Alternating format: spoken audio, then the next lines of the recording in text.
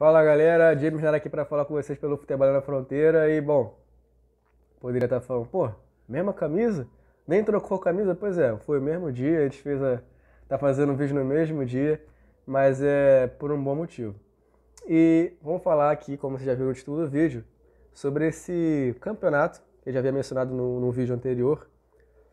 Bom, o, a, a, a Copa Ouro eu quero falar com vocês aqui. Mas antes de mais nada, claro, pedir para você curtir, comentar, seguir a nossa, as nossas plataformas mediáticas lá, o Facebook, o Twitter, Instagram, Kuwait, TikTok, Spotify e o YouTube, claro, se inscrever no YouTube e tocar no sininho para ter notificação sempre que surgir um conteúdo novo aqui para você consumir, você ficar ligado no que está acontecendo nos Estados Unidos, Argentina, Paraguai e México pelo futebol na fronteira, beleza? Bom, Agora vamos dar sequência no vídeo e falar sobre esse campeonato Copa Ouro que poderia, por que, eu acho que poderia ser melhor, poderia ser maior, poderia ser mais atrativo. Bom, você pega os jogadores que lá estão. Pouquíssimos jogadores têm grande nome. Por exemplo, o Quelonavas não disputa esse torneio. Na verdade, o Quelonavas não disputa a Copa Ouro há uns 10 anos. Um dos melhores, ele, na verdade ele é o melhor, ele é o maior goleiro da história da Costa Rica. Você tem um cara como esse, grande, gigante, que jogou no Real Madrid, que joga no Paris Saint-Germain e não, não, não disputa a Copa Ouro, lembrando, ele havia se lesionado na época e por isso ele não foi. Foi até alvo de críticas por não ter disputado. Porém, ele estava lesionado. Não haviam provas de que ele estava mentindo. Então ele estava lesionado, não foi para disputar, se, no caso, pre, é, visando se prevenir, se poupar, se, se recuperar, na verdade, para a temporada que se, que se segue agora, essa atual temporada. Ok. Mas, por exemplo, jogadores como Pulisic, dos Estados Unidos, que é disparado o melhor americano hoje na atualidade. Não tem McKean, não tem, não tem, é, não tem um jogador na seleção que seja melhor que o Pulisic. Não tem. O McKean é um potencial, mas o Pulisic ainda é o melhor. Depois que ele venceu a Liga dos Campeões, então, ele virou o melhor e o maior porque nenhum, nenhum americano até então havia sido campeão da Liga dos Campeões. E ele ganhou jogando bem. Não era o craque do time, mas ele jogou bem. Porque a verdade na seleção, no, no Chelsea não houve craque. Você fala assim, esse foi o melhor disparado e pode até concorrer ao melhor do mundo. O Jorginho só está nessa fila porque ele ganhou a Eurocopa. Sabe? Mas enfim, o, o Pulisic é um cara onde ele poderia disputar. Ele é o camisa 10, ele é o Capitão América, e ele é o capitão da seleção. Você viu como é que ele jogou? Quem viu a Nations League final contra o México? Vocês viram como é que ele jogou contra o México? Batendo aquele pênalti com frieza, a comemoração, o jogo era mais atrativo. A, Nations League, a final da Nations League entre México e Estados Unidos, onde o México perdeu, mas foi um baita de um jogo, estádio lotado. Então, era muito mais atrativo. Um clássico como esse, porque é um clássico, Estados Unidos e México, pode ser atrativo se tiver as suas melhores peças. E na Copa Ouro não aparece isso. Então deixa de abrilhantar o campeonato.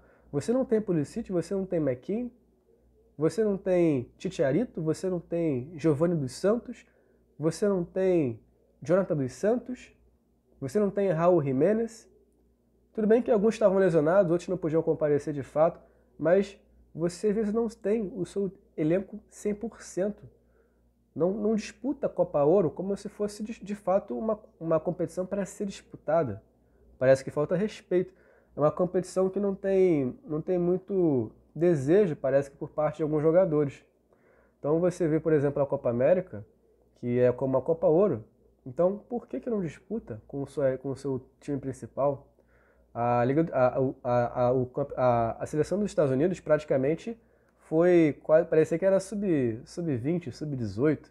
Tinha uma galera ali que você não conhecia. Com todo respeito aos jogadores, claro, por eles não disputaram, não, não eram os jogadores que deveriam estar ali. Não eram os principais da seleção. Então o que dava a dizer é que parecia que não era a seleção principal.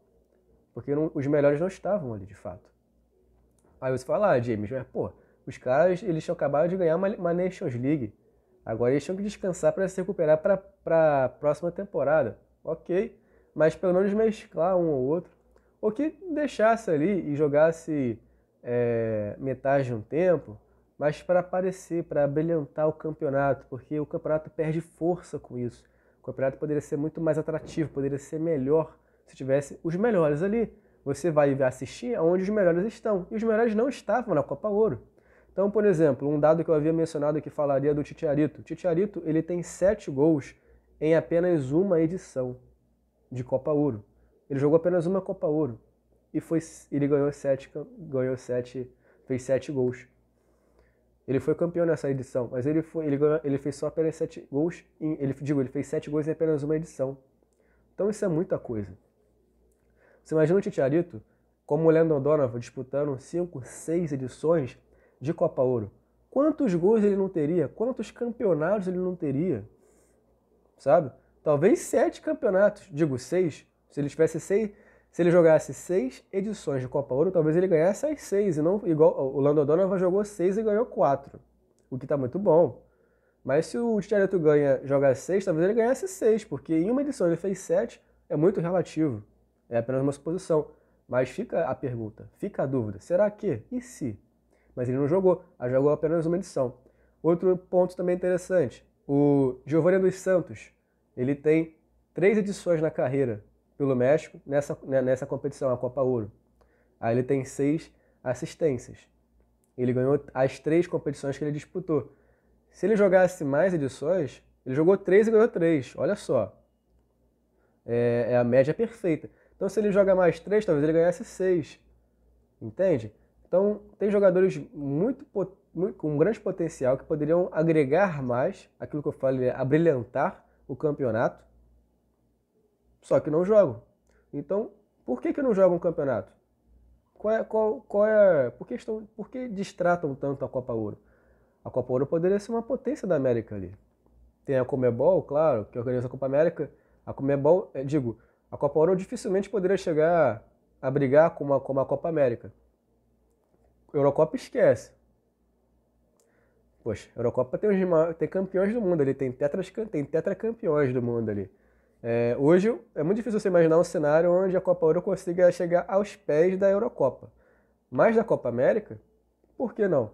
Pode não chegar, por exemplo, no Brasil, Argentina, Uruguai, pode não chegar, pode não bater de frente, mas pode fazer uma, uma médiazinha ali. Pode ser a Copa América aqui, Copa Ouro aqui, aí acaba a Copa América, porque a Copa América começa primeiro, acaba a Copa América e logo depois vem a Copa Ouro pelo menos o interesse das pessoas é assistirem a Copa Ouro, porque ah, vai ter o Pulisic, vai ter o Titiarito, vai ter o Raul Jiménez, que vinha fazendo boas temporadas com o Wolverhampton na Inglaterra.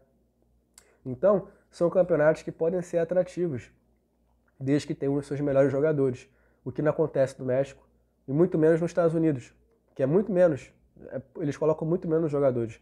No México ainda teve o Héctor Herrera, teve um ou outro ali para jogar. Mas nos Estados Unidos você não via jogador algum ali famoso, com nome, que poderia agregar algo interessante. Você, os melhores, é aquilo, gente, os melhores, eles vão. As pessoas querem assistir os melhores. E onde tem os melhores, é lá que vai ter audiência, é lá que vai ter rentabilidade, é lá que vai ter holofote. Se um cara como um Pulisic, por exemplo, que você bate na tecla, se um cara como ele não está lá, quem vai querer ver a Copa Ouro?